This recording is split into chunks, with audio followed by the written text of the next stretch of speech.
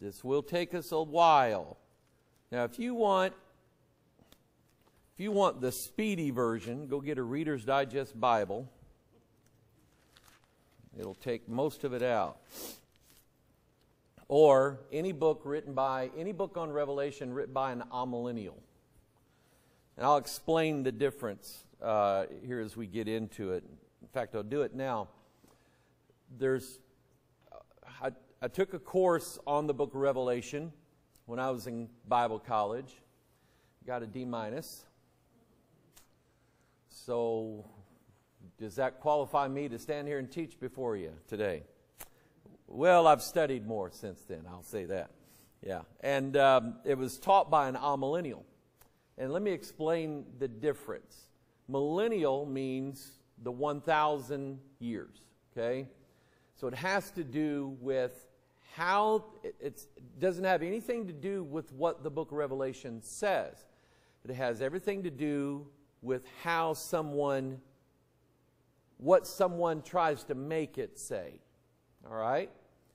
So I believe that John wrote very plainly, which means that I take a literal interpretation of it.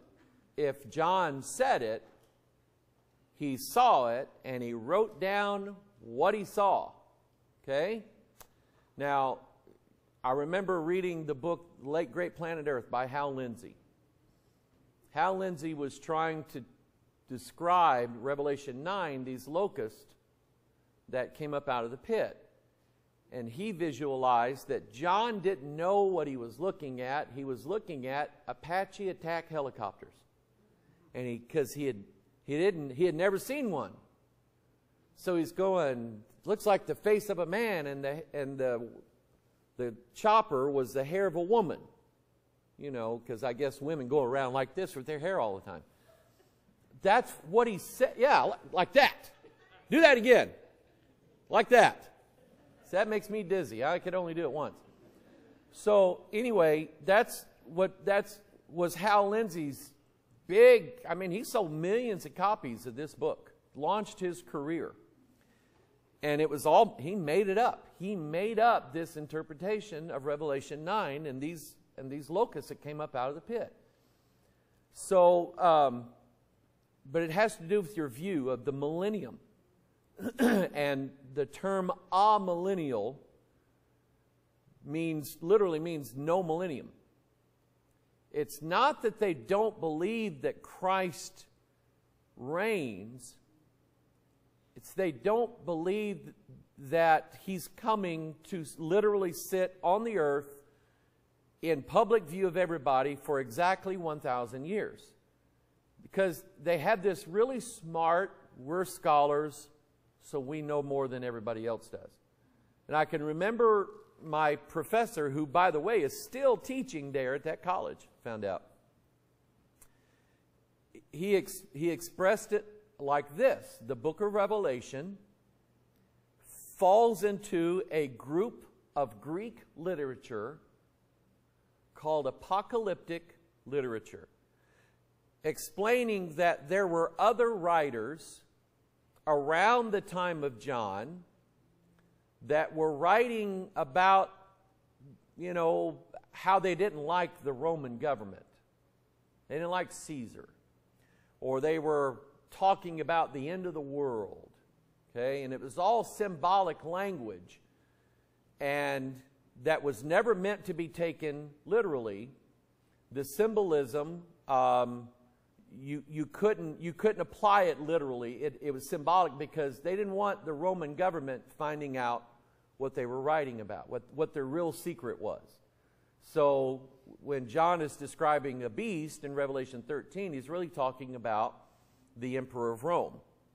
And, but he doesn't want the emperor of Rome to find out he's talking about, you know, he's talking about him, so he calls him a beast because the idea is that John is afraid that he will be killed by the Roman government. Now, by this time, John is around 95 years old. When you're 95 years old, do you care if you get arrested?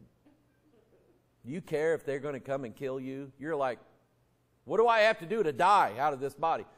So, th- but that was the explanation of it. That revelation fit into an earthly group of literature that was written by other people at that time, so therefore it couldn't be seen as literal.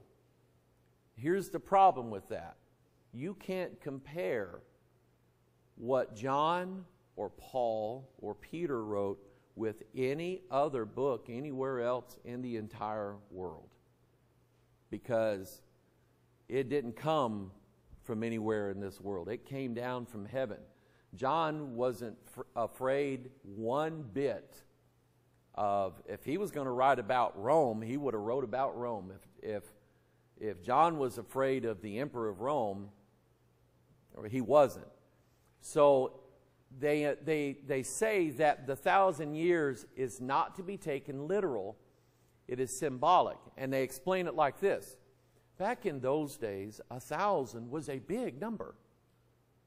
Okay, so when you said like that, wow, that must have cost a thousand drachmas or whatever. Well, that was like saying, wow, that must have cost a billion dollars. In other words, it was a, a an a, expression of speech that doesn't really mean what, what they're saying. But again, God is the one who sends these words down. Jesus is the one giving these things to John, telling him, write these words down. So it wasn't a, an expression or a manner of speech or anything like that. He said a thousand years. So any place else in the Bible, when Jesus said that he would rise on the third day, what happened? Rose on the third day when Naaman is told to dip in the River Jordan seven times, how many times? God tells Israel to march around Jericho. I catch people with that every time. 13 times. One time a day. Everybody goes, oh, yeah. One time a day for six days, seven times on the seventh day. Okay? 13 times. I remember my second grade math. So that, that's exactly what they did. One time a day for six days, seven times on the seventh day. That's exactly what they did. So in every other place in the Bible, the number is literal. When God, when Daniel was looking in Jeremiah to see how long they would be in Babylonian captivity, he found comfort in the fact that God said he's going to be there 70 years. How long were they there? 70 years exactly 70 years. And then God brought them all back. Daniel said, I found comfort in that. I read it in the book. I believe it. Okay? So if God said 70 years to Jeremiah and they were in captivity 70 years, then if God says that Jesus is literally going to sit on a throne in Jerusalem and reign for 1,000 years and that we're going to reign with him, that is exactly what I believe. But that's what it has to do with this amillennial the phrase amillennialism basically says that all of Revelation is symbolic. It doesn't literally mean what it says. There is postmillennialism, which says that, and this was popular before World War II, but has regained popularity through the what's called the Kingdom Now movement. There's a lot of latter day apostolic, the apostolic reformation, the latter day rain people, the Joel's Army people. A lot of the, the, the, the Bethel Church in Redding, California would believe this doctrine. They believe that we are going to take over the entire world with Christianity. We're going to bring down all of the evil governments. We're going to destroy all of the evil empires. God's going to make us to where nothing can kill us. And we're going to basically just take over the world so that Jesus can come and we'll hand him all the kingdoms of the earth. That's postmillennialism. I don't buy it for a second. Okay? And it's not true. Premillennialism is what I still am. I believe that there are events that are going to take place, including the translation, the rapture. The beast will rise. the vials of wrath will be poured out. Then, Revelation 19, Jesus comes down on his white horse, the uh, armies of the saints coming with him. The Lord cometh with ten thousands of his saints, all riding on white horses. I believe that's us who have been translated, redeemed in our new bodies, and we will come down. We will literally reign with Jesus Christ for precisely 1,000 year period. Okay? That's what premillennialism is. Now, I don't really care much for titles, so I just don't take them. If you ask me, do I believe in a literal 1,000 year reign? Gotcha. That's what it says, and that's what I believe. All right? So, anyway, all of that aside, I won't get into the pre trib, post trib, mid trib stuff because I walked away from that years ago too. So, let's take the book of Revelation the way we take any other book in the Bible. If it says it, then we believe it. We believe exactly what it says because Jesus told John, write down everything that I tell you and then everything that you see because these things are going to happen. Okay? So the beast, he's got seven heads. That's going to look funny. It's going to look weird. But he has seven heads. He has ten horns. Are they symbolic? Yes. There's symbolisms attached to them. The number 10, why are they horns? Why are there heads? There is symbolisms, but those symbolisms are always going to be defined by the Bible, not by Hal Lindsey or a commentary or, any, or Mike Hoggard or anybody else. They'll be defined by Scripture. So that's the approach that we're going to take. Revelation chapter 1, verse 1. The revelation of Jesus Christ. This is the key to the entire book. The, the entire Bible and the entire book of Revelation.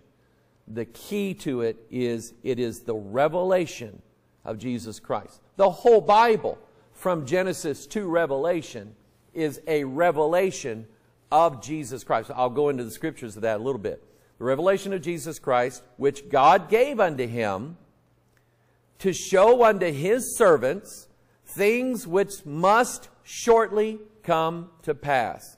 And he sent and signify it by his angel unto his servant John, who bear record of the word of God. If you underline things in your Bible, underline the phrase bear record. That seems to be a favorite expression of John. Bear record or bear witness. You'll see it in the gospel. I, John, bear record of these things.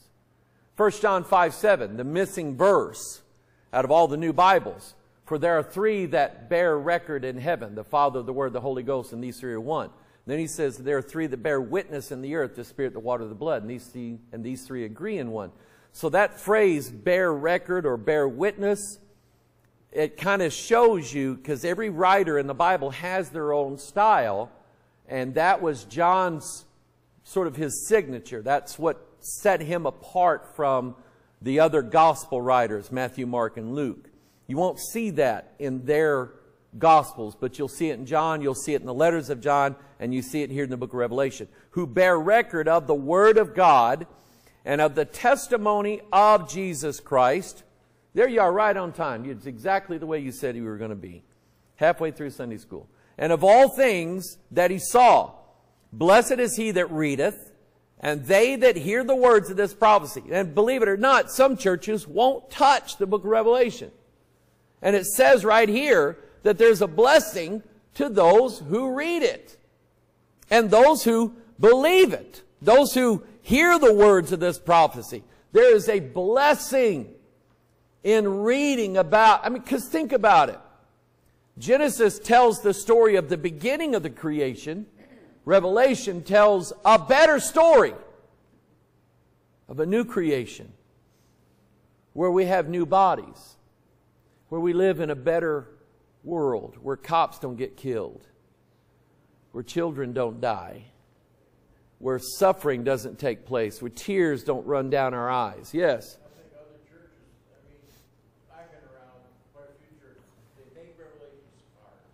Yeah. they, make it hard because of these these names I was telling you, these titles. Are you pre-trib? Are you mid-trib? Are you post-trib? Are you post-millennial? Are you amillennial? Are you pre-millennial? Okay, but that's, that's what men do. Men make it difficult. God makes it simple. Just believe it. Now, one thing I will say, I guarantee you in the course of this study, I'm going to be wrong about several things. Guarantee you. If I knew what I was going to be wrong about, I would change it and correct myself or let God correct me. We don't, none of us can see the future. None of us can. None of us can see the future the way God sees it. None of us, I mean, even though I believe every one of these words, when I draw the picture in my mind of how it looks, I may be wrong. So, to those of you, I've been kind of criticized last week or so um, by some people that didn't like that I wouldn't agree with them on certain things related to things that are going to happen in the future. We all see through a glass darkly. Very important to remember. Don't ask me to be perfect in anything, especially looking into the future, because I guarantee I'll get it wrong every single time. Let God be true, every man a liar. Okay? So you read this yourself and let God take you where He wants you. Okay? But I guarantee you, in this study, I'm going to be wrong. All right, maybe that is why I got a D minus. Anyway, who bear record of the word of God, of the testimony of Jesus, and of all the things that he saw. Blessed is he that readeth, and they that hear the words of this prophecy, and keep those things which are written therein, for the time is at hand. That could mean it's within reach, could be could be a number, the number 25, or the number 5, the number 27. There's 27 bones in my hand. That's, this is the 27th book of the New Testament. Could mean a lot of things. But anyway, blessed are they who read. Blessed are they who hear. Blessed are they who keep these things. Keep them. Hold on to this. Don't let anybody else tell you an alternative future. Don't believe the internet people who are saying they're having dreams and visions all the time about what's going to happen. Don't believe these, don't believe these people who had a dream about Donald Trump. Don't believe these people, and I don't care if it, if it says he's going to be the next president. Don't believe these people who come up with different prophecies. If they're not in here, don't believe them. Believe this. Hold on to this. Amen? Because I've, listen, I've been studying prophecy all my life. All my life. Um, I'm having a hard time grasping words this morning, but I've been doing it seriously since 1998. And since 1998, I've seen a lot of crackers come and go. Crazy guys, crazy women who make up stuff, make up prophecies, make up dates, for the rapture, and they've all been wrong, every one of them. And do they ever apologize? No. Do they ever retract their statement? No. They just say, God changed his mind. Yeah. So, when it comes to what's on the internet, you've got a choice to make. You either believe what's on the internet or believe what's in this book. And there's a blessing if you will hold on to what's in this book. Amen? That's what that means. Uh, Galatians 1. The phrase revelation, that phrase revelation of Jesus Christ is actually in several other places in the Bible. Here's what Paul said. Paul, remember Paul used to be Saul, and when he was Saul, he didn't believe that Jesus was the Messiah, the Christ. He didn't believe it. How did Saul go from Saul to Paul? How did he go from not believing it to believing it? It was revealed to him. And who revealed it to him? Jesus himself showed up on Paul's road to Damascus and said, Paul, Saul, Saul, why persecutest thou me?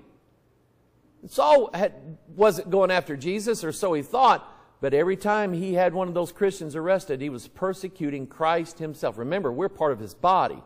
Jesus takes it personally. So Paul said, For I neither received it of man, nor was I taught it, but by the revelation of Jesus Christ. So, I would say the same thing. The things that I learned, the things that I didn't learn in a semester class, because that's all it was, one semester, the book of Revelation, D minus, the things that I didn't learn in that class, I've learned since then. And I've got some views and opinions and things that I strongly believe in in the book Revelation. Revelation 9, that those beasts that come up out of the pit, those are not helicopters.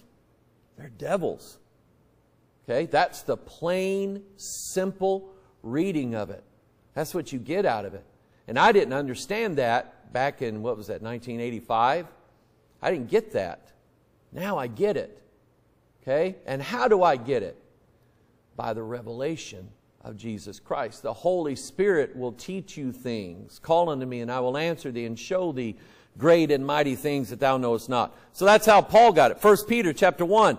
Peter had his problems. Remember, he's the one that betrayed Christ. But he said, Wherefore gird up the loins of your mind and be sober and hope to the end for the grace that is to be brought unto you at what? The revelation of Jesus Christ. So think about how Peter is using this phrase. He's using this phrase as if it was a particular event. And it will be. Because we know that when Jesus appears in the air, who's going to see it? Everybody. The whole world. And, and that's explained later on in this chapter. And they that pierced him. Everybody is going to see Jesus when he appears in the air and he ca catches us up into heaven. So there's coming a day when Jesus is going to be revealed to the entire world. Now, for us, we're going to go, yippee! And for the rest of the world, they're going to go, uh oh. Because it's going to be too late for them. Think of the day, think of the day before it started raining in the days of Noah. And all of Noah's family, his neighbors, making fun of him sitting inside that ark. And they're not buying what he's telling them. God's going to destroy this earth once you come in. They're not believing it. All of a sudden, the door shuts and it starts raining. Do they believe then? Yep. They believe it. Think of Rahab the harlot. Did she believe that God was going to destroy Jericho before it happened? She believed it.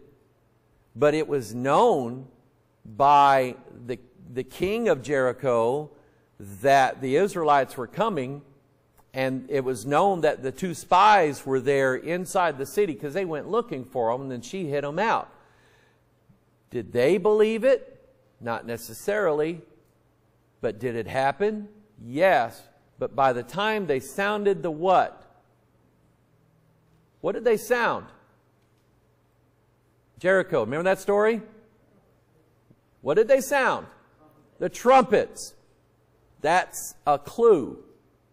By the time they sounded the trumpets, it was too late for everybody in Jericho. Okay? And when you look at the book of Revelation, we have a series of seven trumpets that are blown.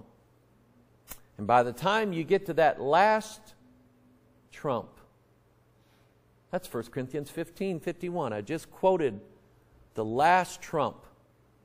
Then the last trump, seven angels comes out with seven vials of wrath to pour out. By the time the vials of wrath are poured out, it is too late for everybody else.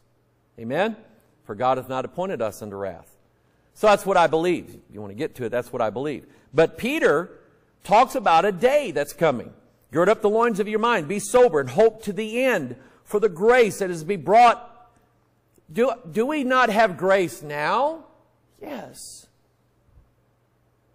But are we going to receive the greatest grace that anybody can ever receive on the day that Jesus is revealed in heaven? The greatest grace in the world is coming. And we'll be glad for that day. Amen? Don't, don't be afraid of it. Look forward to it, because that's coming. Romans 16, verse 25. Now to him that is of power to establish you according to my gospel and the preaching of Jesus Christ, according, and this doesn't say the revelation of Jesus Christ, but it says the revelation of the mystery. And what was the mystery? Well, part of it, as far as Paul was concerned, part of it was who is the Messiah? Who is God?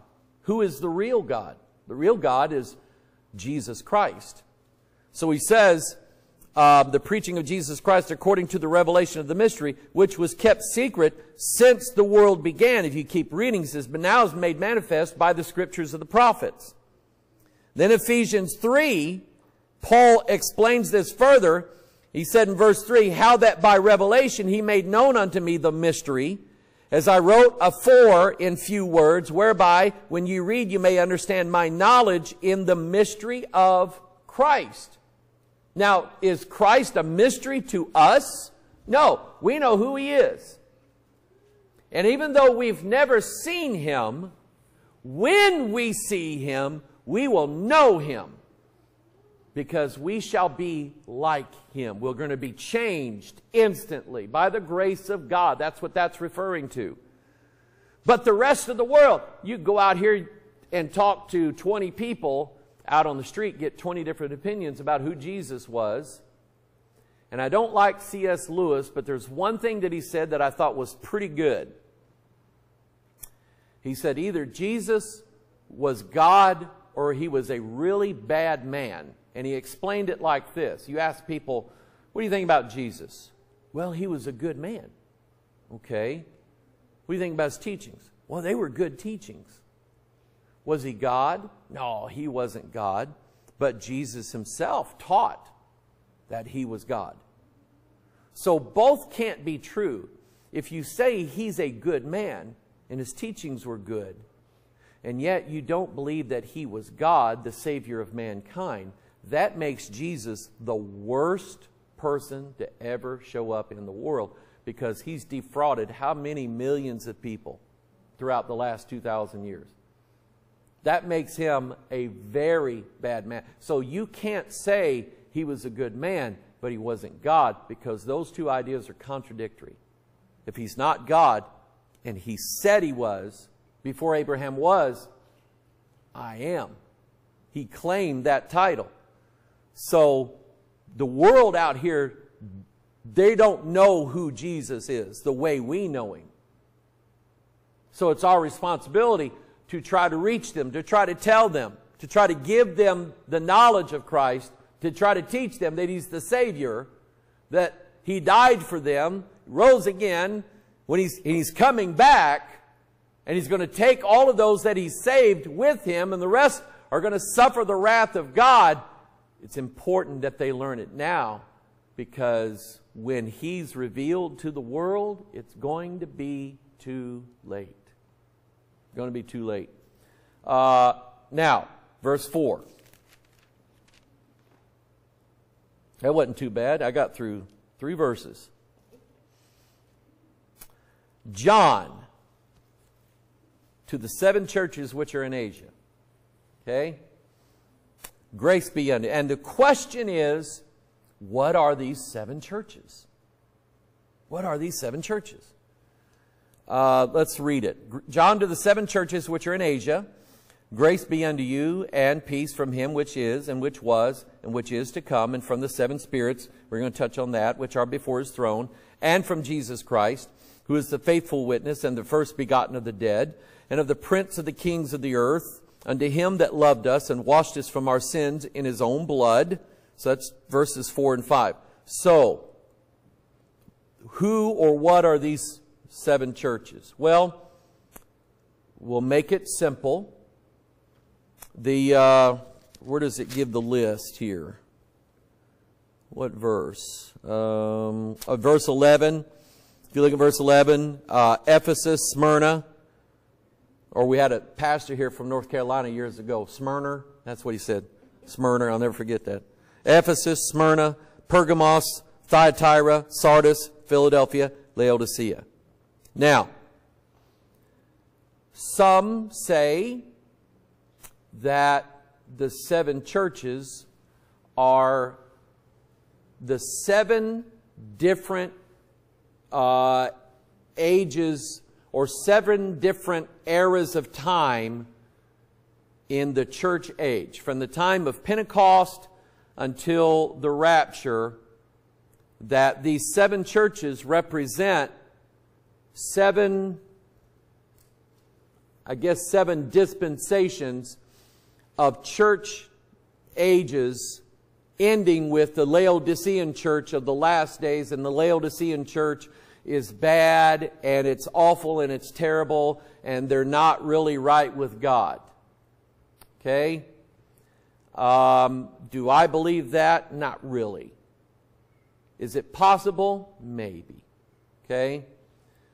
But two things to me are very clear. Number one, we know that at the time John wrote this, there were seven churches in these exact cities that Jesus sent these letters to. Okay? But guess what? None of them exist today. They're not there. Okay?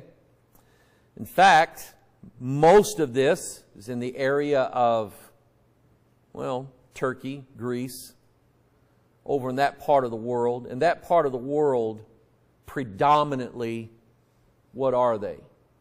They're either Muslim or Russian Orthodox, Greek Orthodox, and 20 billion years removed away from the gospel, no matter how you, no matter how you look at it.